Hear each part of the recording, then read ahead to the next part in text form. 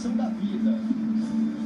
Eu queria dar os parabéns aos criadores Andrew Schwalington, Daniela Thomas e Fernando Meirelles por essa festa de abertura excepcional aqui no Rio.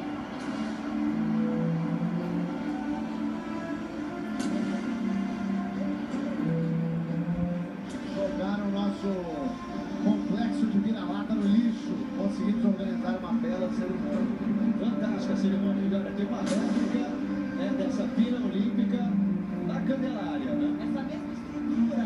Olha a Cristo Redentor aí, ó. As imagens aéreas do Rio com fotos lá embaixo, olha. De verde e amarelo, né? Cristo Redentor. E essa imagem do Olha que coisa aí, maravilhosa. vai estar na Candelária também.